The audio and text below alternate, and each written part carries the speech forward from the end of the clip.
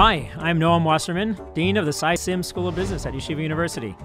I was a longtime professor at Harvard Business School, an entrepreneur, and a venture capitalist. I wrote the bestseller, The Founder's Dilemmas. And I'm Charlie Harary. I've been working with companies for over 10 years. And that book, Founder's Dilemmas, and the challenges faced by the 10,000 founders in it is the basis of this podcast. We are delving into the issues faced by startups to help you avoid the pitfalls that claim so many good companies. Let's get started. Okay, everybody, welcome back to Founders Podcast, Founders Dilemmas Podcast. It's an honor to be with you again.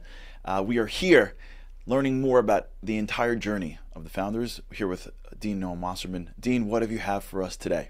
So, thank you, Charlie. Great to see you. It's uh, uh, you're referring to the entire journey as uh, appropriate for today's episode. We're going to have a lot more episodes coming up, but uh, we're going to put a capstone in some ways on this first pass through the life cycle of the venture. We started off with pre-founding, so before you even decide to be able to leap into it and how to think through that, and we've gone through each stage of the journey of being able to get launch, lift off, scaling, all the other pieces of it. Today we are going to get to the finish line. Today we're going to be talking about exits and a couple of different flavors of it, all sorts of ways in which you have to plant some of the seeds very early on for you to increase the chances of getting to an exit that you're going to celebrate. Um, and that's what we're going to delve into today in a couple of different ways and tap both a little bit on data and also tap some stories of founders who faced uh, dilemmas that are exit dilemmas. Um, so first off, let's start off with a little bit of data. So Charlie, you when you read in the newspaper, how often do you see a company going public versus a company selling itself to another one? Which one gets all the headlines? Which one gets the attention? For sure, the public. You get to you get to clap at the stock exchange. Who doesn't want that? Okay, no, that's a classic example with that. Uh, we actually just had one of our Sy Syms grads from 1992, a woman named Julie Feder, who as CFO led her company to ringing the bell on the Nasdaq. You know, Great. going public um, under her leadership with the help of the CEO and everything else like that.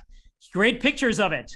That's the headlines. Uh, Times Square, that's where you show up on the big billboard uh, as they're publicizing it. So, yes, that is what gets all the attention. How often do you think that is compared to what the actual exit is of an, an acquisition? I think it's a fraction. So, it's actually a tiny fraction. Only 3% of the exits are going public, are ringing the bell, are being you know up on Times Square. 97% if you are able to exit. There's also the all the ones who are not able to even get to either of these, but 97% are, are acquisitions getting sold. Um, one of the big differences is how big are each of those, uh, how big are each of those exits? How, what is the value at the, each of those points? And that's where the attention actually maps to it. Um, the, this is t- from PitchBook data from a few years ago. Um, the value of an IPO on average um, is about 686 million. The value of an acquisition is 114 million.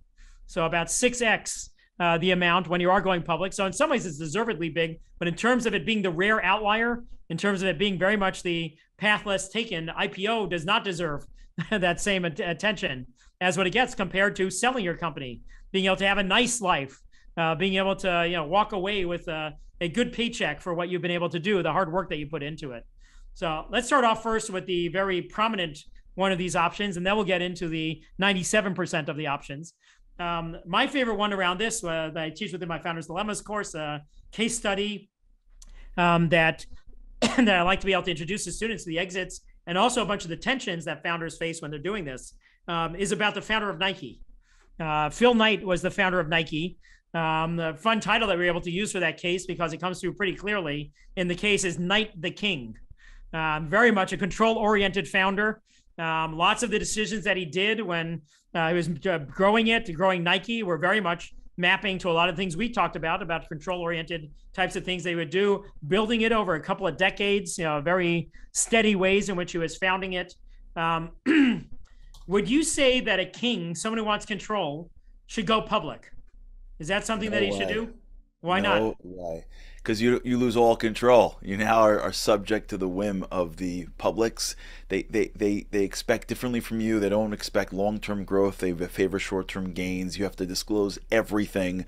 Your whole life changes. I was you know I began my my my career, my non law career, my post law career, in a public company, in a public real estate shop, um, and then we went private and the difference between being public and private, it's like it's two different companies, although we did the same stuff. Okay, what would be your biggest worry about losing control if you were Phil Knight and you want we were going public?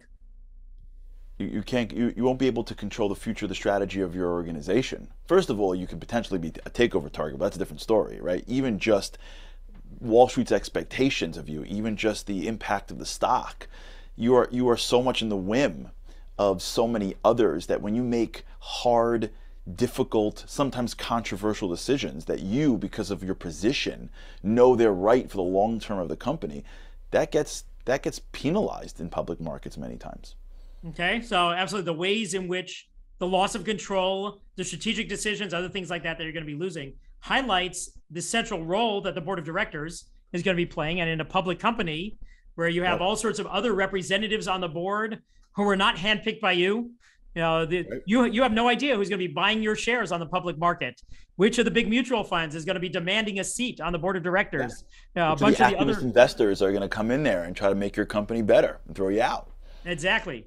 And so early on, Phil Knight tried to go public and failed at doing it. And to me, it was the biggest blessing. It was the biggest bracha for him because he would have had all of these things that you were talking about losing control of the strategic direction and the vision, possibly even getting fired by the board when he is disagreeing with them over the strategic or any of the other ways in which you're looking at his capabilities and deciding that that's not how he should be doing it. A decade later, he decided to take a second crack, having learned the lessons from that. And he was very different at that point. What he did was he structured something, and there's a lot of recent companies that have done this. People think it's a recent development, but actually, Nike was an early practitioner of it he was able to have a lot of the bargaining power be strong enough because Nike had grown over that decade that he was able to create dual class shares. He was able to have not that it's plain vanilla, I am selling a bunch of things on the public market and everyone has the same vote as I do for every class for every share that I have and for every share that they do. He was able to create super voting founder shares. Sure. And what that meant was when he was starting to go public, he was actually going to have not a controlling interest of the company. He was going to be going under 50% of it. By having this dual class shares, he was able to create something that after the IPO, he actually strengthened his control of the board compared to what he had before. He actually had about 85% control over the board compared to less than half of the control that he would have over the board if he had not gone public with it. And so that's one of the few conditions. You have the bargaining power in your hands you get your company to the point where it is a hot commodity, where people are willing to buy it, even though you're going to ha- be susceptible. It's uh, to me a classic line about uh, monarchy is the greatest of the models out there for ruling, as long as the monarch is infallible. You're betting on Phil Knight, you know, making all the right calls if he is the one who's controlling all of this. Right. And so, because of that, that's why there's a lot of ways in which um, the public markets are very hesitant be able to do it. But when you have your company hitting on all cylinders, pioneering and dominating its industry, and other ways in which it's going to be able to be a very different uh, commodity and very attractive as a stock compared to a decade before when he failed to go public. That was he was able to be able to line all of those things, be able to have a lot more control come out of it. And mm. since then, we've seen a lot of high flying tech companies go beyond all sorts of ways the ratio that Phil Knight had. Um, Groupon, when it went public, 150 to 1 was the ratio of what the founder was able to have of a vote compared to what the people who didn't have the founding shares. Zynga 70 to 1. Um, both of those got very hit hard after they debuted because the founders are not infallible. And so, all sorts of ways in which they paid a real price and it made people think twice about it. Uh, Theranos, you know, one of the highest flying companies of the last decade or so, uh, revolutionizing healthcare and blood testing and other things like that. Elizabeth Holmes, the founder CEO, on lots of magazine covers and other things like that. Um, she was able to have 100 to 1 uh, votes to share in terms of the control over there. Final example within this realm, excuse me, the Snap, which was one of another one of the high flying tech companies, consumer uh, companies that was out there. They offered zero votes to new investors. Hmm. Essentially, they were saying, you know, you uh, will just be right. buying into the economics and not having any way to be able to protect your investment or anything like that. Um, and so that one that led to all sorts of trouble on the market. They, they got their wrist slapped and other things like that. Um, but that was where they took it to an extreme in terms of being able to have the control around that. And that's where we have to think of it through the lens of rich versus king, all sorts of ways in which um, the infallible monarch is going to have un- unchecked uh, monarchy and other things like that. Um, some of the other things to be thinking about when you're looking at IPOs as investors and also as a founder, being able to evaluate whether this is a good exit for you. So that's the first of the exit possibilities that we are taking a look at about being able to go public and some of the ins and outs of some of the people who have gone and done that. And it applies also in, for private investment. I mean, there are plenty of people that, um, as they as they get a new investment, it changes their ability to make decisions as well. You know, even if it's if it's private capital or however they they invest. This idea of as you take on more capital, whether it's public money or private money, what does it do to your your investment decisions? You know, there are there are companies that start to raise funds, and in in the fund structure start to do their their transactions through the funds, and have investment committees and have reporting up and have a whole new world of of bosses, if you will, along the way up. And I think that's a very important decision to really think through, and people don't think through it enough, which is if you're not leaving, if you're still going to somehow manage this business, what is the cost of the capital, not in economic terms, but in decision making terms? Yeah, no, a lot of times always think about, you know, the percentage that you own is a financial thing. Right. But the percentage that you own has control implications.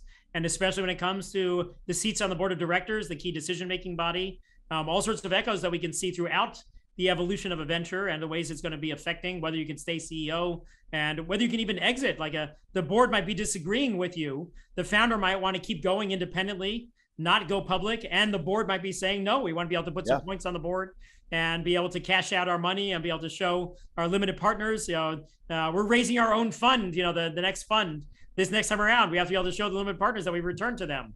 All sorts of other things that are going to conflict with the founder's interest and it's going to come to a head possibly all the way at the finish line that they're going to be diverging from their investors. Yeah, yeah, I think that's an important thing, and, and as founders, you really have to consider that, and especially in, in the evolution of a business, when a business hits hard times and needs cash to operate, there's some a bunch of founders that are scared to actually get anyone's uh, capital because they're scared to give up any decision making, and they put their business at peril because there's not enough cash to get through a recession or to get through a, a market change. And so as a result because they don't fully get it they live in zero they live in, in, in black and white.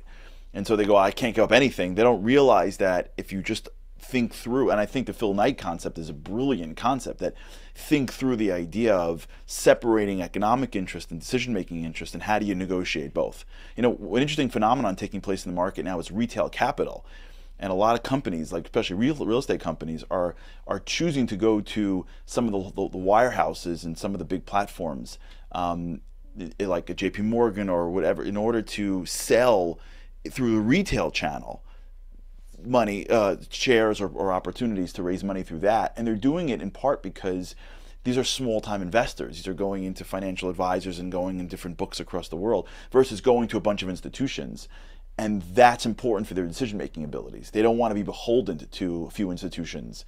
They want to actually have lots and lots and lots of small investors. And so while it's a huge initial um, expense and investment of time, over time it play it, it, it pays because you it allows you to keep control while raising the money. So it's an yeah. important distinction to know the difference. No, exactly right. This is in some ways how the growth over the last decade or so of new options for founders uh, for financing enables them to sometimes be able to strike a different trade-off when it comes to the rich versus kings things that we've been taking a look at. Um, yeah. It doesn't enable them to eliminate them, but enables them to have a couple of other options to be able to strike a different balance uh, than what they've had before. So you're exactly right. It sometimes is at the exits that we're talking about, or every round of financing, every way that they have now, other options that they didn't have. And back when Phil Knight was doing his stuff in the 70s and 80s, um, that's some of the other things that they have as options now. Yep. Okay, so heading into the other one, the 97% of the the things with the the sales. Um, let's take a look at a couple of other founders. Um, this is Tom and Tom. Tom and Tom were the founders of Nantucket Nectars. Uh, became a major player in drinks and the um, uh, being able to walk into the um, into the into the supermarket, being able to grab a drink, being able to be in uh, a restaurant, being able to have a Nantucket Nectars as what you're going to order with your burger and other things like that. Tom and Tom built the company. And then uh, this is actually the capstone to the Founders Dilemmas course. one of the things that I have fun with with them is that I, we ask first with the students, we give them lots of data on their performance, and we ask, how much are you willing to accept as Tom and Tom for the company? One of the critical things about what is your price that you'd be willing to say, yes, I'll sell my baby for that. And so they'll go and crunch all the numbers, they'll come up with their analyses and other things like that. I'll start off class asking, what is the most critical number that Tom and Tom are facing right now? And they'll try to guess at certain things, stuff like that. In the end, I will say one versus three. Do you have only one offer of an acquirer wanting to go and acquire a company? Or as Tom and Tom did, they had three acquirers after them. Mm-hmm. You have no bargaining power if you are a price taker with only a single offer. Absolutely. Same thing for a founder in a financing round. You only get one term sheet. You're desperate for money. Are you going to take it? Well, you don't really have a way to push back. You're you're at their mercy. You have three term sheets. You have three investors who are coming for you. All sorts of bargaining power that is now shifted into your hands. And so, no matter how much we crunch the numbers, no matter how much we uh, go and analyze and things like that, the bargaining power of developing your company into something that is going to be valuable enough, of your being able to have it be something that is attractive to multiple acquirers. For them, it was Pepsi, Ocean Spray, and a major private inv- equity investor. You, know, you have them competing for you. Right. You have all sorts of degrees that you can be able to keep pushing the terms to your favor um, compared to the person who only has a price taker and has a single one.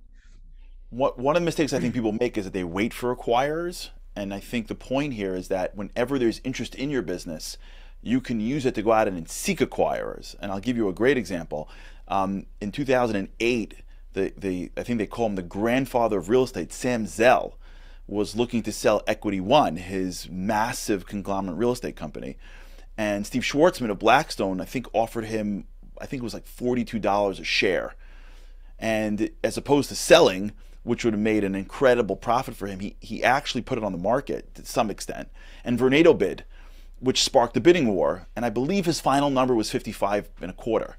And he understood that if Steve Schwarzman is coming after his business, there's something valuable here that he's not paying attention to. He later figured out that what Steve Schwarzman was going to do was buy his business and then sell off the most valuable assets and keep the others. And actually, I think that's what actually happened in Blackstone. But if Blackstone's after your business, your business is valuable. And if they're offering forty dollars a share, you can be sure it's not worth forty dollars a share. So when you're in it, when you have a company, and there's people that want you, that means that there's someone pretty smart that sees something in you. And where a lot of founders they don't realize they're so they're so they're so smitten that they're like this is great yes. And they don't pull back and go wait a second. What do they see in me that i don't see in myself? Should i expand my searching and maybe make some some some entrees into the into the market to see if there's other people that are interested? If for nothing else there's probably more value you can find that that is not being manifest in that first offer yeah, no, absolutely. So I, let me give you some numbers on what you're talking about. This isn't from my data set, but this is from class. So when I would ask my students, they'd done all the number crunching, the prep, and things like that. I asked them, how much would you bid for Nantucket Nectars if you were the only bidder versus how much would you bid if you knew that there were two other bidders besides you?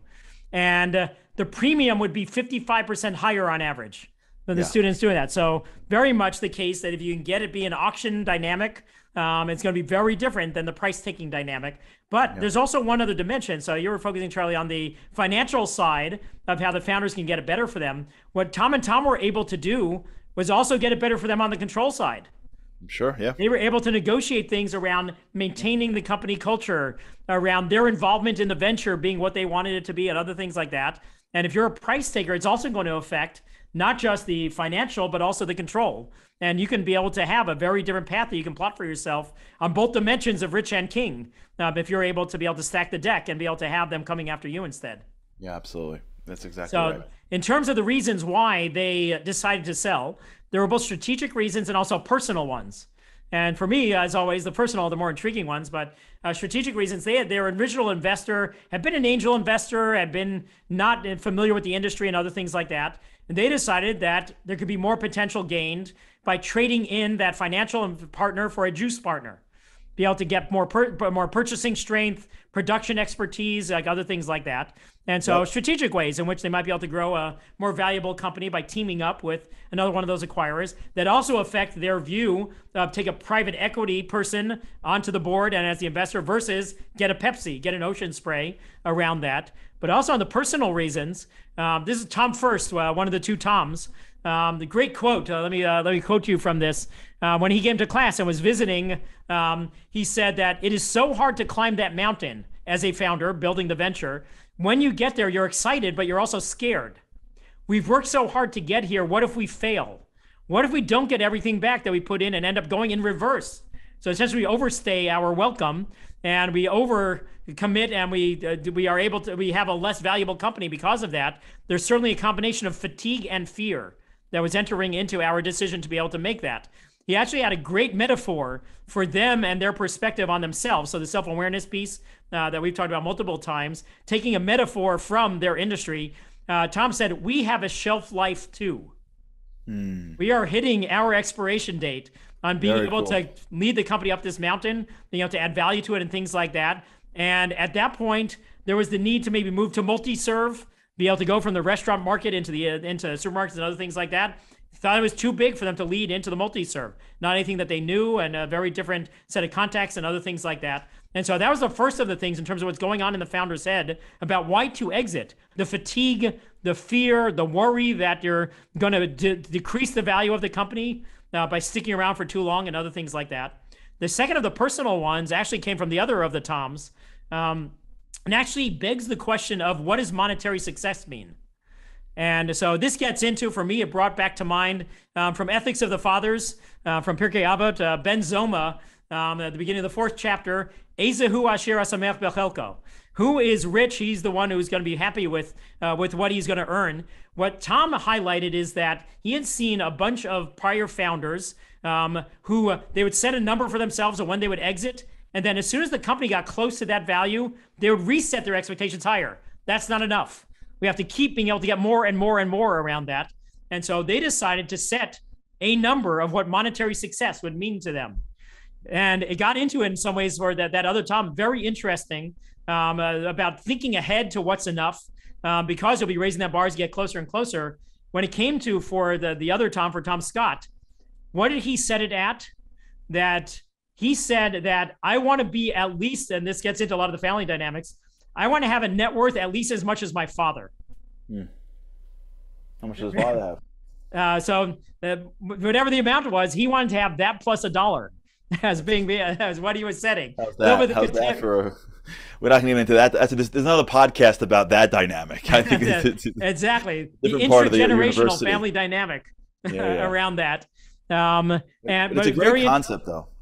It's a great exactly. concept. I find it. I find it even with people that are working in companies that are constantly unhappy, and the reason is because they don't know how much they want to make um, this this had a you know a friend of mine founded a company years ago, sold it, and gave his executives um, a big bonus, and they were like beyond themselves. They were they were they were in tears until they found out how much he got for the venture, and then they were livid, right? And th- this idea of what's right for me, what what should what should I make, right? It, it, if you don't have some sense of a goal of what you're going after. And the money is like i want to be anywhere between where i am now and Jeff Bezos.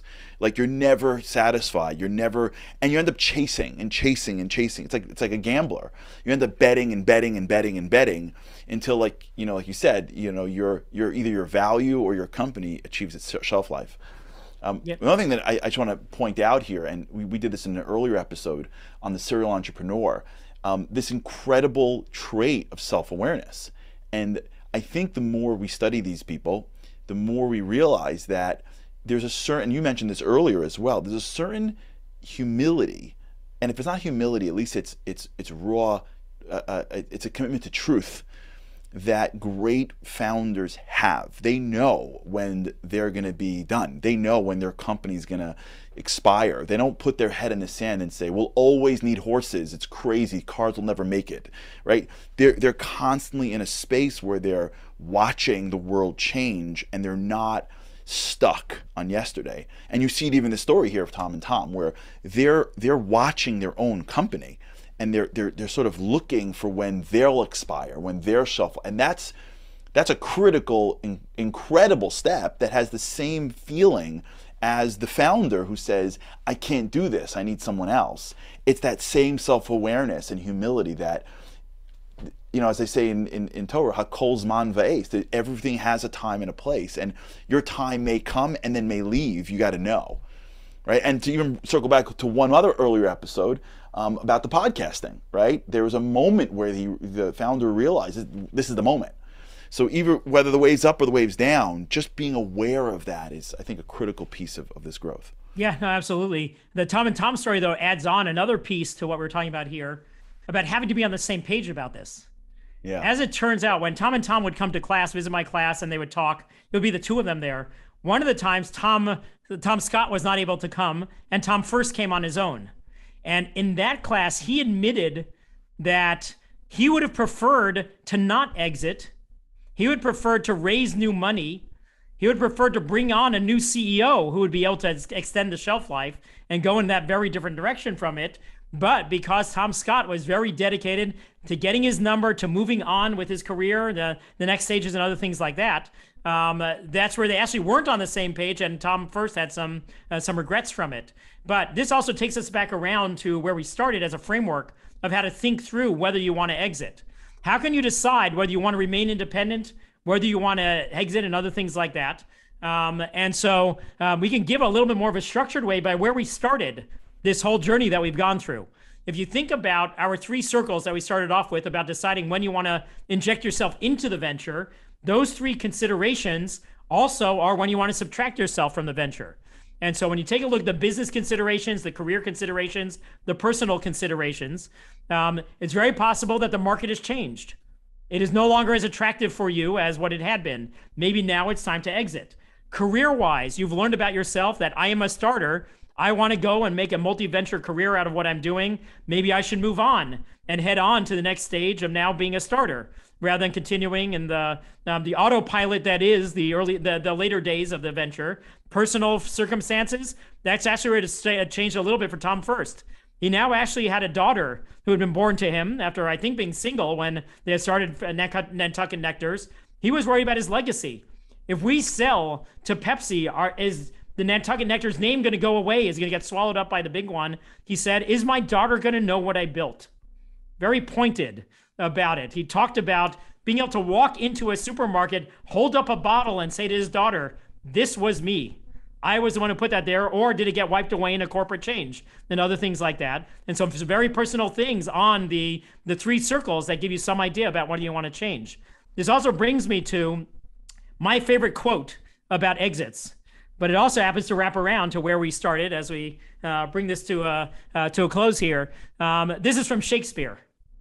And this is uh, this is from uh, um, As You Like It. Uh, this is from the second chapter of that. All the world's a stage, and all the men and women merely players. They have their exits and their entrances. And one of the key things that I love about this is that it puts exits before entrance. Essentially, we've talked throughout about how you have to think down the road. You have to have the foresight of where things are likely to go. And then once you decide where you're going to celebrate in the end, what are the ways in which that end point should then inform the early decisions that you make? I happen to love that Shakespeare put the exits before the entrances. Try to proactively anticipate from the beginning. What are you going to celebrate at the end of the day? Tom and Tom, very different things that they were going to be celebrating. Uh, Phil Knight, we talked about, you know, being able to think through that ahead of time, being able to make the right decisions early on that will reinforce the chances you're going to get to that endpoint is a critical thing that Shakespeare is highlighting for us. And so, in some ways, uh, the end of the life cycle, highlighting for us the importance of the beginning of the life cycle and making the pre founding foundation building moves that are going to enable you to start off right. And then the key things along the way of being able to keep your eye on the ending point and making the interim decisions that'll help you be able to get to there. Wow. Unbelievable. Wow, this has been quite quite a journey for those who have been joining us now. Check out the past few episodes where really has, it's all been strung together. Coming up next, um, we're going to have some Q&A. So check check out the next episode that's going to be dropping, in which we'll get some Q&A going. And I believe if you want to send a question, it's Founders Dilemmas Podcast at gmail.com. Did I get that right? Founders Dilemmas Podcast at gmail.com. Always feel free to send us your comments, your suggestions, um, and your questions. We look forward to answering them as well.